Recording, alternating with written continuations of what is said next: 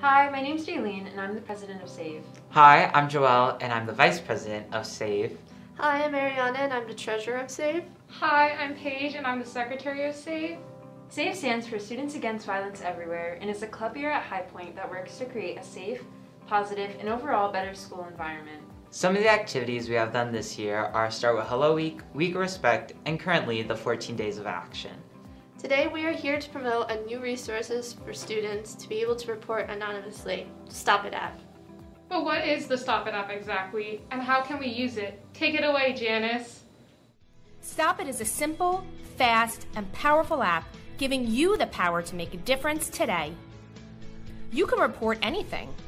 You can report issues like bullying, hazing, violence, and inappropriate behavior on and offline. Virtually anything. Doing the right thing is as simple as one click on your phone, sending your report in real time to people that care and are ready to help. Make no mistake, STOPit is 100% anonymous. Period. End of story. How does it work? Once downloaded, open the app and enter the access code provided by your school. Now, go make a difference. If you experience or are witness to something you would like to report, simply open the app Tap the report button where you can send a message, photo, screenshot, or video evidence to the people that can help. Hit send and feel great. Next, the people that can help will receive your alert.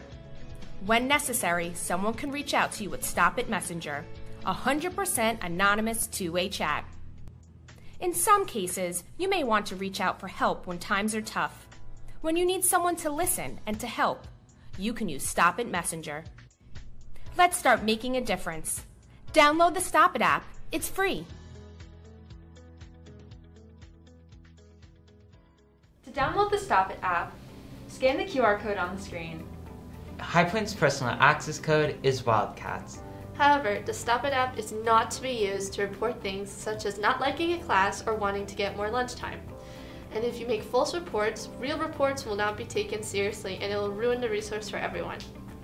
Spread the word and download the STOPit app because your anonymous reports can make a difference in preventing harm. And if you would like to become a member of SAVE, feel free to reach out to any one of us or email our advisor, Mrs. Limbo, for more information.